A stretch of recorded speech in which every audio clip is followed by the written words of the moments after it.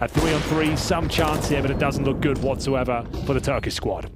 Doesn't Calyx stuck in the corner? Woxic not ready for it. Didn't really realize. Oh, no. oh, yeah, it's so awkward.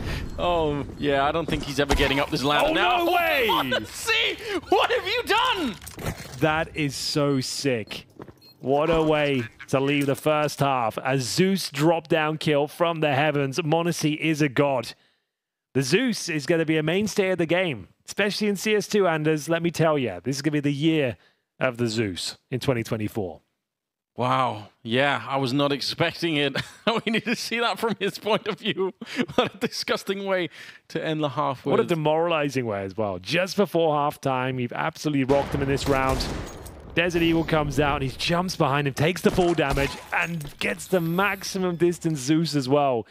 That's so sick. That's such a m0NESY way to close things out. And after winning a huge spell of rounds